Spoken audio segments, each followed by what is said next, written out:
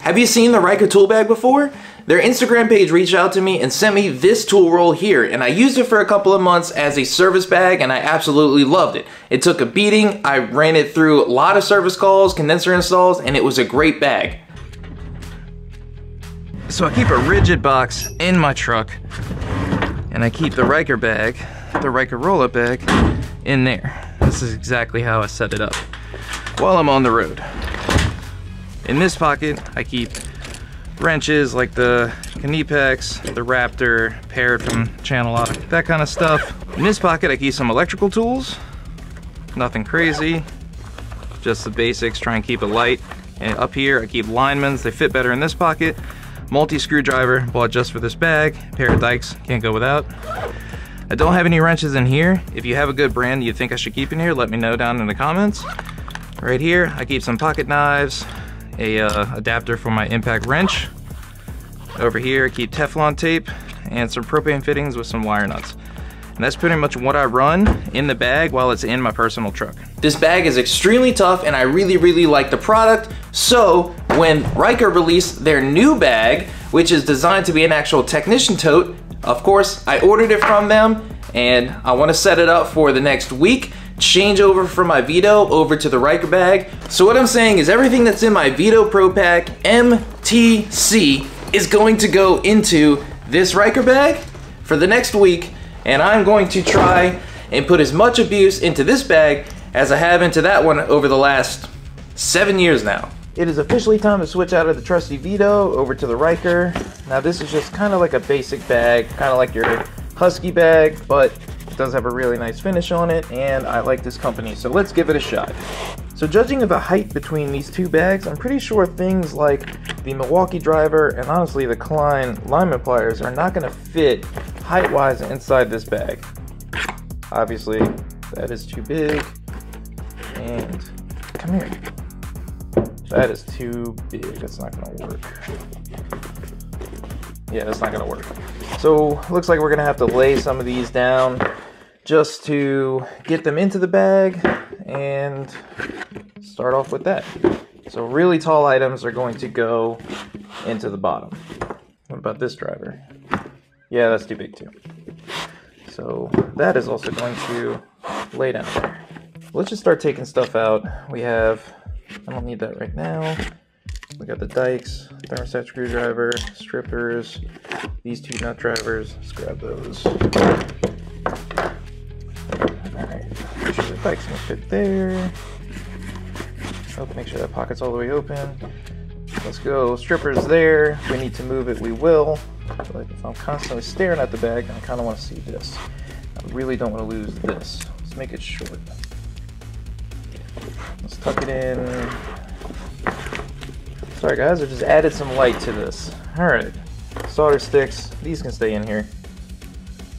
Soak in the sandpaper. Do I have anything down here? Yes. I'm gonna need this. Go over there. Channel, little channel locks can go right here. Deburr, service wrench. Sometimes you forget everything that you have in a bag until you do something like this. Okay. Deburr tool, service wrench. This can go right up front. Alright, this obviously is not going to be able to fit. Go over there. This wrench, definitely. Hmm. Alright, this is one I use most of the time anyways. Gotta go in a good spot. You can go right there.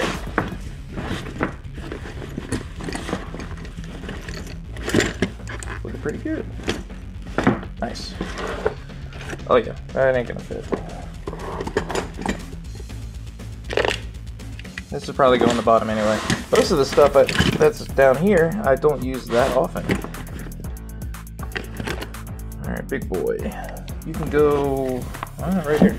Let's start you off right there. See if you can move later. Let's take and put you right here out front. There we go. Alright, where are you going?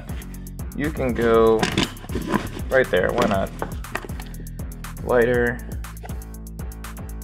Nothing. Uh, Alright, I am to need these. Must definitely have to keep all of this stuff. Anything? No. Nothing really at the end. Alright. These are gonna go in the pouch. It's got some weight now, it's not sliding as easy. In the back. Let's use this big pouch brazing tool. Right. Those two will go right there. This will go right there. Perfect. And for the side stuff, I always keep my magnetizer with me. Gets me out of a jam all the time. First stop is the perfect place to You're test the bottom of the right bag. I'm under a Ray's house replacing a motorized damper, and it was nice grabbing everything and closing the top while walking around a dirty place. Not a crazy repair, but while I'm down here, I want to check out the bottom of the bag. Cleanup was easy since the bag does a great job staying open when you're messing with it. The feet on this bag really stand out, and the bottom is solid. Nothing comes close to the bottom when setting it down on wet ground. So will it protect your tools in harsh environments? Yes. Here's a fit system in a tight space that needs a wire harness repair. Luckily, the bag doesn't take up too much room. But with this type of repair, the big selling point for the bag was packing extra parts and tools that I only need for special occasions, like my little torch, zip ties, and the case for heat shrink connectors. The small size of the bag was a nice surprise when I had to put it in my lap to grab stuff I needed. This was a tight fit, and the shorter design of the bag actually came in handy. The majority of the work over the last two weeks has been wire harness repairs, and I'm actually pretty happy I had the open top bag to keep all those extra parts in. Like I said earlier, I have been rocking the Veto MCT for years now, and I love it, but trying to put spare parts in that bag and make one trip is just non-existent. Those bags are optimized for efficiency, which doesn't help when I'm trying to carry a little extra torch and a small DeWalt case full of small, small parts. Due to the recent studio remodel, I have been running this bag for about two weeks now, so here's what I think. It's a tough bag, it's definitely gonna last a while, but I wouldn't use it as my primary bag, only because the main tools in here don't fit inside the pockets. What I mean by that is my duct knife doesn't fit, my crimpers don't fit, my beater screwdriver doesn't fit, my linemen don't fit, that's a big one. And it's just stuff like that that's kind of irritating me over the little bit of time. But I will say having an open bag like this is actually really nice. Plus, when all of this was down in there, I could take most of the stuff I needed extra and throw it into the bag and just carry the entire bag up. That was pretty nice. And if you don't mind not putting a tool inside of a pocket every single time, then this bag is gonna work wonders for you. One thing I noticed after the fact was these feet on the bottom are super tough. They are solid plastic. When I had that job under the house and it was constant sand and water, that kept it out, out of the water and I was actually very impressed. That was a really nice touch from Ryker on that one. My plan for this bag is to take all of my testing tools, like my Jumper King, my thermal imaging camera, my bilateral laser distance measure. I wanna take that and put them in this bag. And take this bag and shove it somewhere in the truck where I can easily find it no matter what it is. Because I seriously have all of these little cool tools but they're all scattered everywhere. So this is going to be my bag, my go-to bag for all the cool stuff that I get to just go in here, zip it up, and when I've come across something that needs an extra tool, something crazy, I know exactly where it's at. And that's what I think about the Ryker tote bag and the Ryker tool roll. I will leave comments to both in the description down below, and I'll see y'all next time.